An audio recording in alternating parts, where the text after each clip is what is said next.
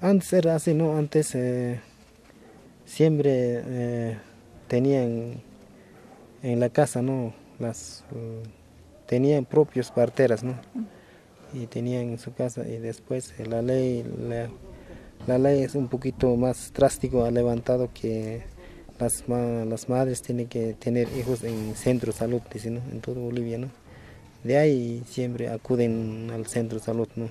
Se han, un poquito se han ah, olvidado, ¿no? Pero siempre mantiene porque nosotros hemos reclamado que en el centro tiene que haber una partera, ¿no? Sí, con, con unas eh, medicinas ancestrales, porque ellos tienen ahí, aparte para hacer un, han capacitado también, ¿no? Eh, tienen una, un partero, una partera, ¿no? Para que para que tenga hijo, ¿no? En el centro, ¿no?